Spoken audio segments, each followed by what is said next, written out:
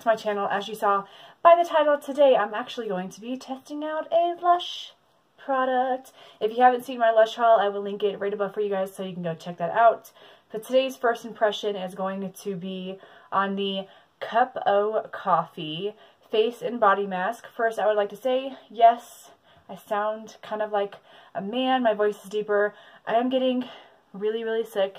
And, um, hopefully not really, really sick. I just, it hit me out of nowhere. My son, if you had not seen the vlog, my son actually had uh, RSV, which is so heartbreaking, and he had pneumonia at the same time. He's at his dad's house at the moment right now, so I had some time to um, disinfect the house and stuff like that. I did a speed clean video, not sure if it'll be up before this or after this, but if it is up before, then I'll have it um, linked, but if it's up after, stay tuned. Um, I just disinfected everything, spent like three hours doing it.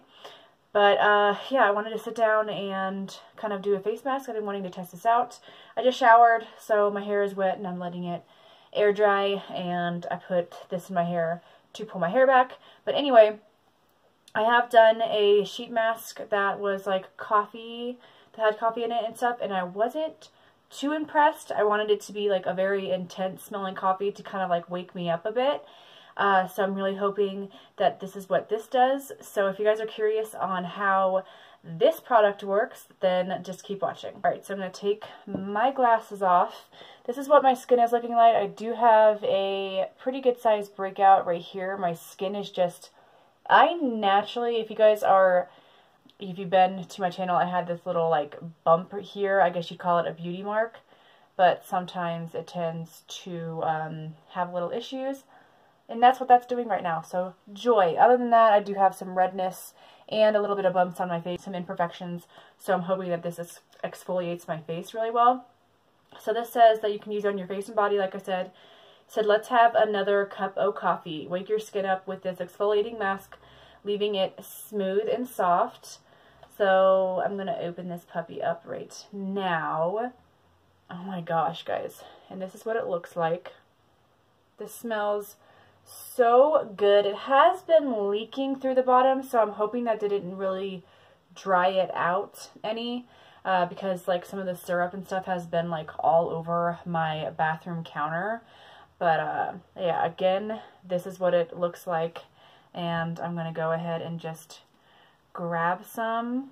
It's very, very thick, if you can see that, but it smells really good. I got a camera right here, so I'm just going to put this all over my face. So it has a smell, so it definitely smells like coffee, but it's got another kind of a more natural smell to it.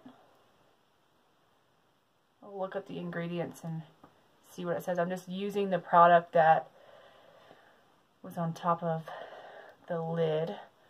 Not quite sure how too much of this is. I'm going to take my nose ring out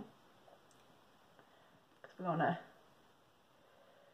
get it all in the cracks and crevices. If you guys know of any coffee face mask that I have not tried out, definitely, oh, that was cold. Definitely leave a comment down below and let me know because I don't know what it is. I love trying out, like, I love trying out any face mask, but especially if it's coffee because I just love the smell of coffee. It's very rare that I actually drink coffee because it does like upset my stomach. But uh I just I love walking past it in the grocery store because it just smells amazing. Like I said, alright, so I have it all over my face. Let's see what the ingredients say so I can pinpoint. It's got agave syrup, I think it says right here. Good to know. This smooth blend has organic agave syrup inside to leave your you feeling sweet. It's got tons of different oils in it. Um, obviously, coffee, vanilla. I can't really pinpoint, but it's probably like all the different stuff just mixed together. So this says to leave on for 10 to 15 minutes. So that's what I'm going to do. I will be back after, this is what it's looking like up close. Looks kind of like not coffee. It looks more like a green color on camera. But I'm going to leave this on for 10 to 15 minutes and I'll come back, show you guys what it looks like dry, and then we'll wipe it off and I'll give you my final thoughts. Okay, so this is what the face mask is looking like right now. It didn't dry down at all, which I'm not quite sure why I thought it would dry down because it does have that like syrup stuff in it. So anyway, gonna wipe it off, exfoliate the face, let you guys know what I think about it. I'm Aksho, Aksho. I'm also going to be um, testing it out on my body. So if you want to see me do that, then um, obviously just keep watching. Alright, I just washed it off and I am like blown, blown away. Like so blown away.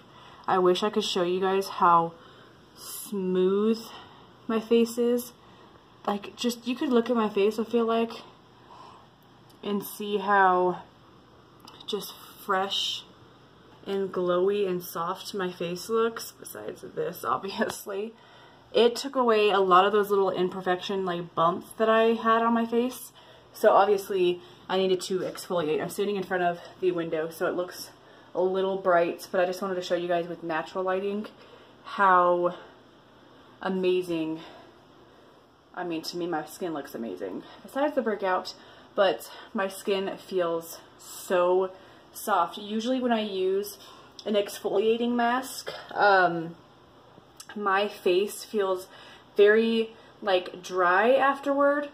Uh, and I'm like, oh my gosh, cringing to put on moisturizer, but I'm really not like wanting to run and go put moisturizer. I'm going to. It's very important to tone your face and then put moisturizer on after you do a face mask, but I love the fact that it didn't dry my skin out and I really feel like it just kind of like helped me feel a little bit more awake and stuff. I'm very curious on how it's going to work on the body.